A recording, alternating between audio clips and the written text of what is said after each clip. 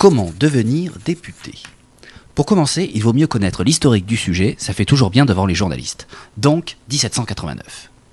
Nous sommes ici par la volonté du peuple et nous n'en sortirons que par la force des baïonnettes. C'est par cette phrase célèbre que le comte de Mirabeau, député d'Aix-en-Provence, refusa de quitter la salle du jeu de pommes et donna symboliquement naissance à l'Assemblée nationale. Le roi avait convoqué des représentants du clergé, de la noblesse et des autres afin de proposer des solutions aux problèmes du pays, et la solution qui fut trouvée, c'est que cette assemblée décide elle-même au nom du peuple français. Spontanément, les Girondins, représentant plutôt la bourgeoisie, se placèrent à droite du président, alors que les Jacobins, représentant la populace, s'assirent à gauche. Ceux qui ne savaient pas trop quoi en penser restèrent au milieu. Aujourd'hui, l'Assemblée nationale est composée de 577 hommes et femmes venus de toute la France pour voter les lois. Le découpage des circonscriptions permettant à chaque élu de représenter environ 100 000 personnes.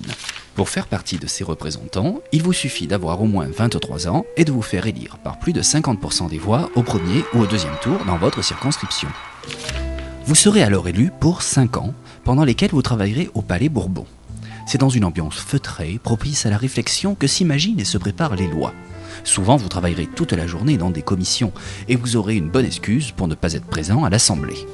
Mais quand ce sera votre loi, votre bébé, vous aurez à cœur de la défendre, de l'expliquer et de convaincre même les plus obtus de voter pour elle. À ce propos, chaque député représente toute la nation et non sa circonscription.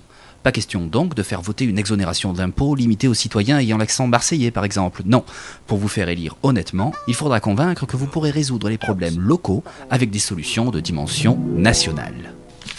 À ceux qui se posent la question, il n'est pas nécessaire d'être d'un parti politique. N'importe qui peut se présenter. Même que ce ne sont pas les partis qui font les députés, mais les députés qui font les partis.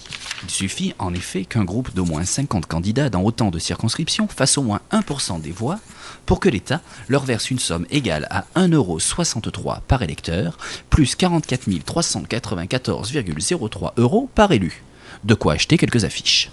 Vous, vous aurez droit à une indemnité parlementaire de 6 769,39 euros par mois, auquel s'ajoutent 6 112 euros de remboursement de frais, plus un crédit de 8 553 euros pour rémunérer vos collaborateurs et collaboratrices que vous n'êtes pas obligé de toucher.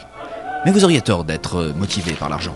La fonction de député est une des plus importantes de la politique française, une des plus nobles, une des plus vitales à la bonne santé de la démocratie. L'Assemblée nationale est le cœur de la République, le ring, l'agora, le mégaphone, l'endroit où les ambitions personnelles ne peuvent que s'effacer devant l'intérêt du peuple et de la nation. Ça a de la gueule, non? D'ailleurs, tous les dictateurs du monde commencent leur carrière par prendre Mirabeau au pied de la lettre en traitant l'Assemblée nationale à coups de baïonnette. Des députés célèbres, ce n'est pas ce qui manque. Lamartine, Victor Hugo ou même l'abbé Pierre. Mais qui se souvient de Louis Astoin, ouvrier porteur marseillais qui en 1848 participa modestement au vote abolissant l'esclavage Ou de François Bilou, un bonnetier qui dans l'ombre de Léon Blum vota la loi sur les congés payés non, les députés ne sont pas des stars, mais des citoyens comme les autres, issus du peuple et travaillant pour le peuple dans l'espoir d'un monde meilleur. Alors, pourquoi pas vous?